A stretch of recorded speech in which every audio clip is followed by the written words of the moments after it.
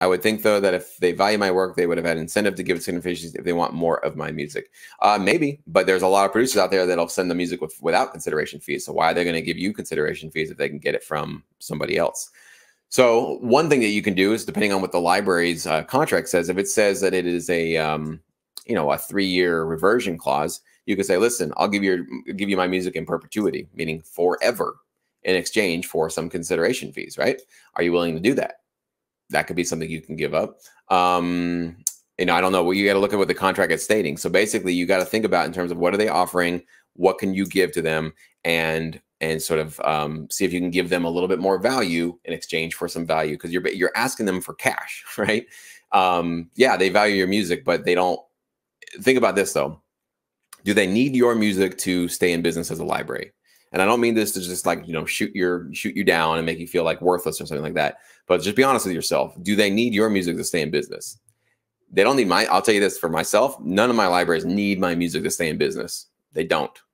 Sorry, I'm not that important. I'm not that irreplaceable.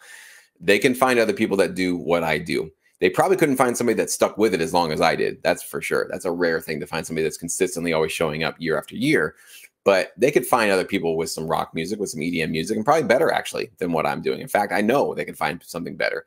So I have to know where I am here, and I'm not up here.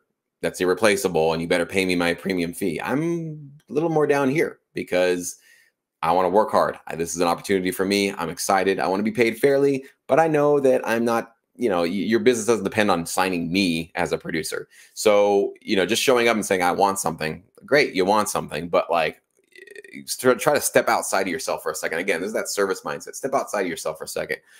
Do I have the power in the cloud to even demand for this kind of stuff? Like, why would they pay me money when they're not paying maybe the next guy? Maybe none of the other producers get consideration fees.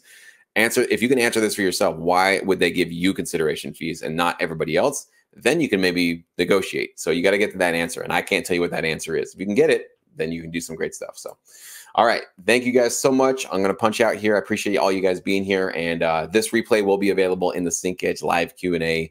All right, the membership section. It'll be a live Q&A replay. You can watch that if you missed out the beginning or anything like that. So appreciate all you guys' time and attention. And we'll have two new libraries for you September 1st. So hang tight. Going to be some great stuff coming your way very soon. Have a great weekend, guys.